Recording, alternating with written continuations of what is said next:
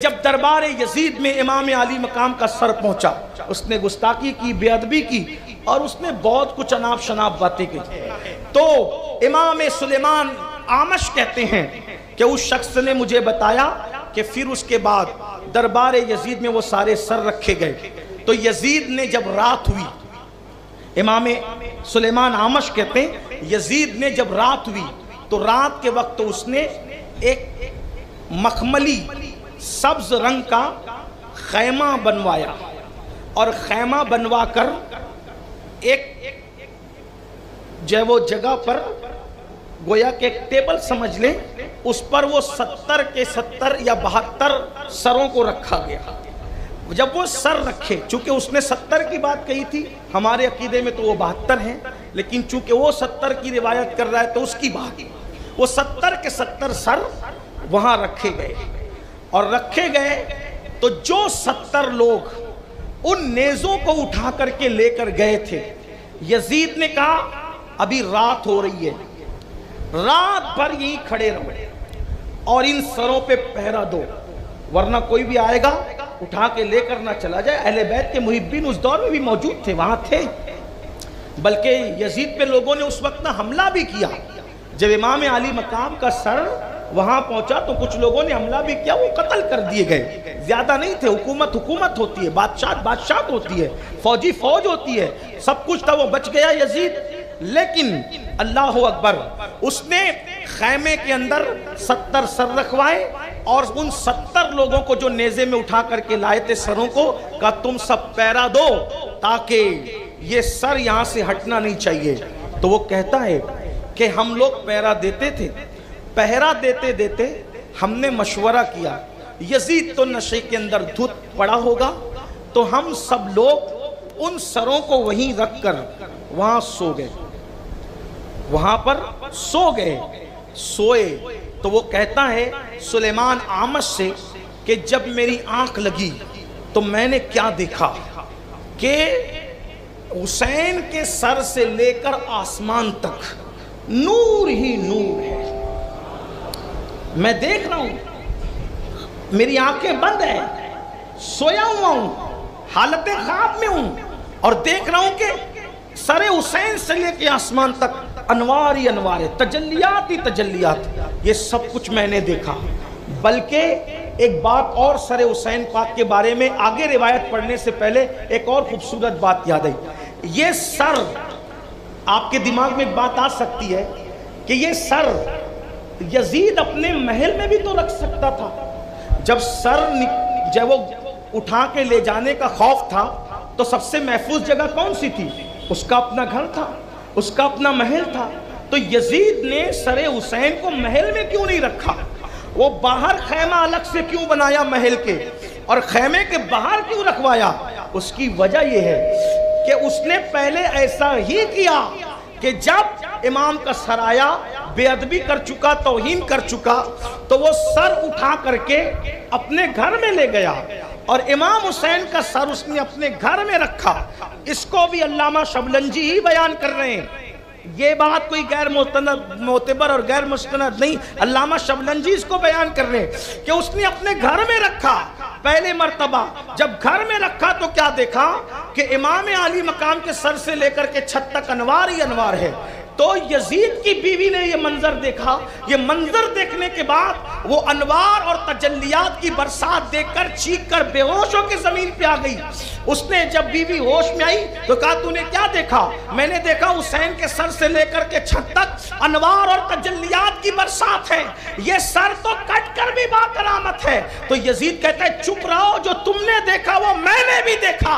लेकिन अगर ये बात लोगों को पता चलेगी तो इससे हुसैन की अजमत लोगों के दिल में और ज़्यादा हो जाएगी। और इस वाक़े से वो इतना खौफ जदा हुआ कि भाई, अभी तो घर में लाया हूँ थोड़ी देर बीती है और ये सरों सर से ये करामतों का जहूर हो रहा है। आगे पता नहीं क्या क्या होगा। तो उसने जल्दी से ये फैसला किया कि सर घर में नहीं रहना चाहिए, सर को खेमे में रख दो बाहर और पैरा लगा दो। तो अब इमाम आमद सुलेमान से वो शख्स कहता है, हम पैरा देते देते सो गए। मैंने ख्वाब में क्या देखा कि सर से लेके आसमान तक नूर नूर है अनवार ही है तजल्लियात ही तजल्लियात है। ऐसे में क्या देखता हूँ कि घोड़ों के हिनहिनाने की और परोताने की आसमान से आवाज़ आ रही है। और ऐसे में आसमान से एक तख्त ज़मीन पे उतरता है। और कोई आवाज़ देने वाला आवाज़ देता है, लोगों, खबरदार अब अल्लाह के पैगंबर हज़रत सैदना आदम सलाम की तशरीफ़ आती है। क्या देखा? सरे हुसैन रखा है। तख्त एक तरफ़ रख दिया गया और हज़रत सैदना आदम सलाम तशरीफ़ लाए और आने के बाद कहा अरे अबा अब्दुल्ला, ए अब्दुल्ला के बाप, आप पर सलाम हो और आपने बहुत सब्र के साथ अपना इम्तिहान दिया और इमाम की पेशानी को चूम करके रोए और कहा, अल्लाह तेरे कातिलों को कभी माफ़ न करे, तेरे कातिलों पे कभी रहम न करे। हुसैन तेरे घराने को बेदर्दी के साथ उन्होंने लूट लिया। और ये कह करके हज़रत आदम सलाम अपने उस जगह पर बैठ गए। वो कहता है, इमाम सुलेमान अहमद से गौर फरमाए, हम किसी नबी पर, किसी गैर नबी को फजीलत नहीं देते। हमारा ये अकीदा है अम्बिया मखलूक में सबसे अफजल तरीन मखलूक है, लेकिन नस्बत रसूल इतनी बड़ी है कि हज़रत आदम भी हज़रत इमाम आली मकाम के कटे हुए सर को सलाम कर रहे हैं। हज़रत आदम की तशरीफ़ आवरी हो रही है। सैयदना आदम सलाम आए हैं। कहते हैं, हज़रत आदम का बैठना ही था कि फिर घोड़ों के हिन हिनाने की और परों के फड़फड़ाने की आवाज़ मैंने सुनी। क्या देखता हूँ कि दूसरा तख्त उतरता है और जब वो दूसरा तख्त उतरा तो फिर ऐलान हुआ, होशियार, अब अल्लाह के असीम पैगंबर, हज़रत नू सलाम की सवारी आ है। इमाम हुसैन को लोग समझते क्या हैं? जब हम हिंदुस्तान में किसी जगह तकरीर करने जाते हैं तो लोग हमसे कहते हैं, सैयद साहब, आप फुला मज़ार पर न चलिएगा। हमने कहा, कौन सी? वो फुला। कोई ख़ास बात? जब भी हमारे यहाँ हजूर मुफ्ती आज़म आते थे तो पाबंदी से वहाँ हाजिरी देते थे। कोई कहता, हमारे यहाँ मोहद्दी से आज़म आते थे। पाबंदी से वहाँ हाजिरी देते किसी ने कहा, वहाँ अला हज़रत इमाम अहमद रजा हाजिरी देते थे। किसी ने कहा, वहाँ पर बंदा नवाज़ गेसू दराज हाजिरी देते थे। किसी ने कहा, वहाँ मखदूम सिमना हाजिरी देते थे। हम जैसे अपने मुर्शिदों के नाम सुनते, हम कहते, जब इतने बड़े मुर्शिद ने हाजिरी दी है तो शख्सियत भी तो बहुत बड़ी होगी। जिसके मज़ार पे मखदूम अशरफ पहुँचे, वो हस्ती का अंदाज़ा कौन कर सकता है? हाँ बार बार लोग ये नहीं कहते कि दाता साहब साहब का अंदाज़ा करो, दाता साहब का अंदाज़ा करो, दाता साहब की शान का अंदाज़ा करो। हमने कहा, क्या अंदाज़ा करें? अंदाज़ा ये करो कि जहाँ गरीब नवाज़ जाकर के चिल्ला करे, फिर उस मजार की शान का आलम क्या होगा? हमने कहा वल्ला दाता के कदमों पे हमारे माँ बाप कुर्बान है। मजार दाता वो है जहाँ पर गरीब नवाज़ जैसा जा रहा है और कहता है, गंजे बख्शे, फैज आलम, मजारे नूरे ना इशारा पीर कामिल। कामिलारा रानुमा। लेकिन उस हुसैन के सर का भी तो कोई अंदाज़ा लगाए। जहाँ कटा हुआ सर है। वहाँ अंबिया की सवारी आ रही है। वहाँ अंबिया की तशरीफ़ आवरी हो रही है। इमाम अली मकान की शान ये है। तो आवाज़ आती है, नू सलाम की सवारी आती है। हज़रत नू सलाम आए और उन्होंने भी वही कुछ किया। जो हमने हज़रत आदम को करते देखा अभी वो अपनी मसनत पे बैठे ही थे कि फिर ऐलान हुआ वैसे ही। होशियार लोगों, अब सवारी आती है अल्लाह के खलील हज़रत इब्राहिम सलाम की। वो तशरीफ़ लाए, उन्होंने भी वैसे ही सलाम पेश किया और ये सब चीज़ें हुई। उसके बाद हज़रत मूसा सलाम का नाम उसने लिया, हज़रत सुलेमान आमश के सामने। फिर हज़रत ईसा सलाम का नाम दिया। फिर कहा ये सब आकर के अपनी मसनदों पे बैठे।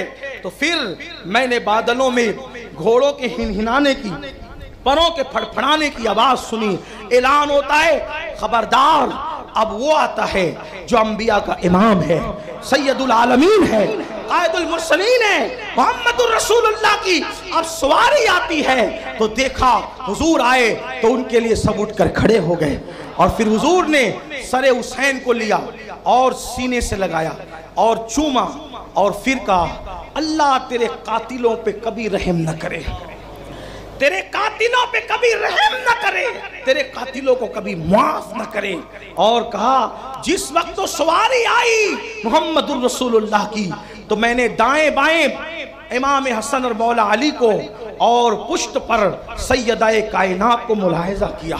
और उसके बाद हुजूर आए तो सारे अंबिया ने मिलकर रसूलुल्लाह की ताज़ियत की। या रसूलुल्लाह, आपके लाडले ने हक अदा किया, कुर्बानी दी, दीन बचाया, जो बड़ी तफसील फिर उस पर तकरीर है और बहुत तफसील उन्होंने बयान की है। और ये सब बातें करने के बाद, जब ये बातें हो गई अम्बिया किराम रो पड़े, इमाम हुसैन का कटा हुआ सर देखकर, वो कहता है, इमाम सुलेमान आमश से ए सुलेमान आमश जब अल्लाह के रसूल की ताजियत हो गई अम्बिया रो पड़े तो मैंने देखा इमाम हसन आगे आए। और इमाम हसन ने आगे आकर कहा, या रसूल अल्लाह नाना जान, ये जो सत्तर के सत्तर सब सोते पड़े हैं, मेरे हुसैन के सर की तोहीन करने वाले, मेरी गुजारिश है, इन सबको कत्ल कर दो। या रसूल अल्लाह इन सबको कत्ल फरमा दें। तो अल्लाह अकबर, हजूर अक्रम वसल्लम ने उन पर जैसे कहर की नज़र डाली। कहर की नज़र डालना था कि वो सब के सब, उन सत्तर के उन सत्तर लोग मर गए और वो कत्ल हो गए। उनके जिस्मों से रूह निकल गई और जब उनके जिस्मों से रूह निकली तो हालत ये थी जैसे बिजलियाँ कड़क रही है, जैसे बादल गरज रहे हैं। ये सारी चीज़ें थी और अल्लाह अकबर, यही सब कुछ हुआ ऐसे में जब मेरी बारी आई, ऐसे में जब मेरी बारी आई तो वो शख्स कहता है अय इमाम सुलेमान, आमश, फिर ये हुआ। अल्लाह, फिर ये हुआ कि हुजूर ने जब मुझ पर कहर की नज़र डालना चाहिए तो मैंने अर्ज़ की, या रसूल अल्लाह मुझ पर रहम फरमाए। हुजूर, मुझे माफ़ कर दीजिए। या रसूल अल्लाह मुझे माफ़ फरमा दीजिए। आका, मुझे कत्ल ना फरमाए। तो चूँकि अब ये बात कि वो उन सत्तर कत्ल कैसे हुए, ये कौन बता ये बात कैसे पता चलती हो सकता है यजीदी किस्सा गढ़ लेते कि सो रहे थे तो किसी ने आके मार डाला। लेकिन मार डालने वाला कौन है? गुस्सा करने वाला कौन है? ये बात भी तो उम्मत तक पहुँचना थी। इसलिए हिकमत का तकाजा ये था कि उन सत्तर को कत्ल किया। जब इसकी बारी आई तो ये कहता है कि मैंने अल्लाह के रसूल से इसकी हुजूर मुझे माफ़ फरमा दे और हुजूर मुझे कत्ल ना फरमाए। तो ऐसे में अल्लाह के रसूल ने वो खुद कहता है, मेरा कंधा पकड़ा और कंधा पकड़कर मुझे मुँह के बल फेंका।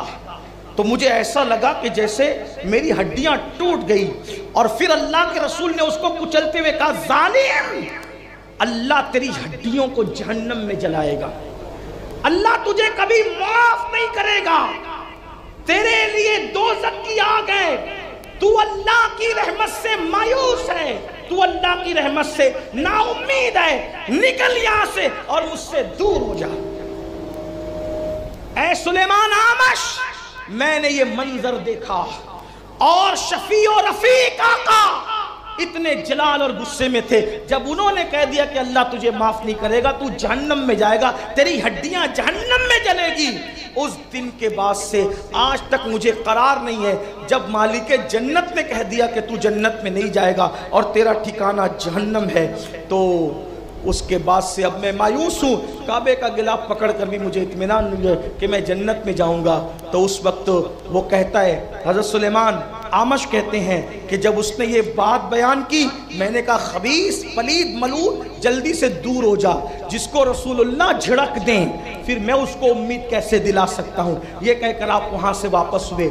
इससे इमाम अली मकाम, इमाम हुसैन, अला जद ही वसलाम की सर अनवर की करामतों का पता चलता है। उनकी अजमतों का पता चलता है। अल्लाह अगर तोफ़ी दे तो इमाम हुसैन जहाँ है, करबला में हो जहाँ जहाँ उनका सर अनवर की रिवायत हो, बकी शरीफ में, या फिर मुल्क शाम में, या फिर काहिरा में, जहाँ भी आपको तोफ़ी दे अल्लाह, वहाँ हाज़िरी दो। क्योंकि अल्लाह के रसूल ने इमाम हुसैन की बारगाह में हाज़िरी देने वालों की मगफिरत की बशारत अता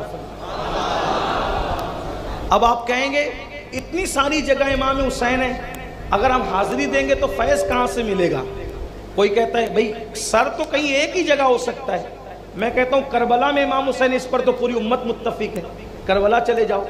लेकिन एक बात आपको कहता हूँ, इसी में बात मुकम्मल करता हूँ। वक्त तो ज़्यादा हुआ, उसके लिए मैं माजरत चाहता हूँ, लेकिन बात इस पर मुकम्मल। सर एक है, वो या तो बकी में होगा, या मुल्क शाम में होगा, या कायरा में होगा, या करबला में होगा।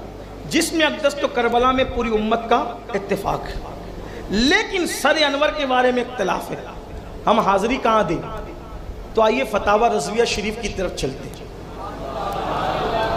यही मेरे इमाम इमाम इश्क मोहब्बत की शान है कि जब लोग शक में पढ़ने लगते हैं तो मेरा इमाम यकीन का इमाम है। सैयदा तैयबा ताहिरा फातिमतु जहरा के लिए दो रिवायत है।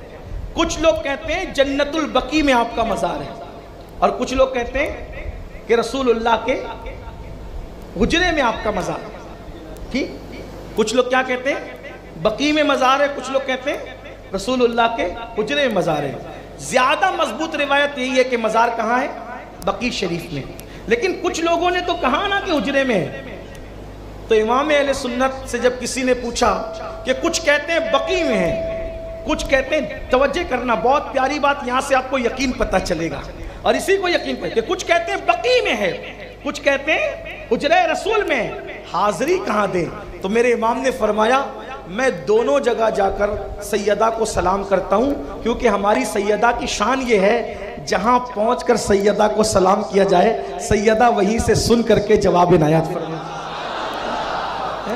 ज़मीन और मकान के मोहताज तो वो लोग होते हैं जो ज़मीन तक महदूद रहते हैं। ये वो हस्तियाँ हैं जहाँ बैठकर सलाम कर दिया जाए।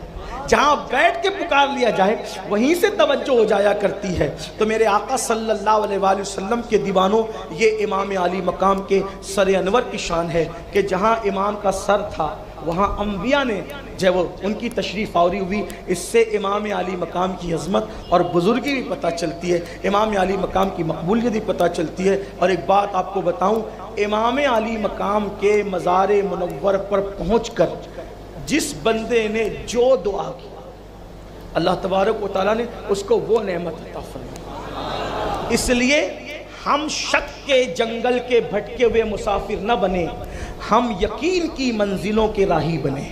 अल्लाह ताला हमारी कौम को सही तौर पर यकीन की दौलत अता फरमाए, इमाम अली मकाम के सर अनवर की बरक़ात और खैरात अता फरमाए। आखिरी जुमले पर गुफ्तु मुकम्मल कर रहा हूँ। लोग कहते हैं, सर हुसैन क्या, सर हुसैन क्या, सर हुसैन क्या। मैंने कहा, सर हुसैन क्या, सर हुसैन क्या, सर हुसैन क्या। तो फिर मैं कहता हूँ, इमाम हुसैन के ग्यारहवें नंबर का बेटा, जिसे दुनिया शेख अब्दुल कादिर जिलानी कहती है उनके कदम के बारे में मेरा इमाम कहता है कि, सर भला, क्या कोई जाने के है कैसा तेरा? औलिया मलते हैं आँखें, वो है तलवा तेरा। जब ग्यारहवें नंबर के बेटे के तलवे का ये आलम है तो उनके बाबा इमाम हुसैन के सर का आलम क्या हो सरे हुसैन की अजमतों का अंदाज़ा कौन कर सकता है? अल्लाह तबारक व ताली हमें नबी और आल नबी की सच्ची वफादारी अता फ़रमाए। गुफ्तु के दरमियान अगर कोई गलती हो, अल्लाह तबारक व माफ़